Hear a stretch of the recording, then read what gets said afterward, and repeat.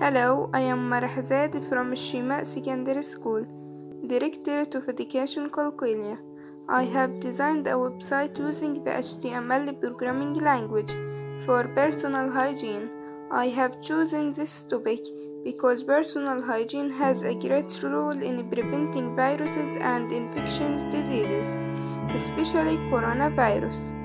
The website contains everything you need to know about personal hygiene, as personal hygiene is important, and how we could maintain it.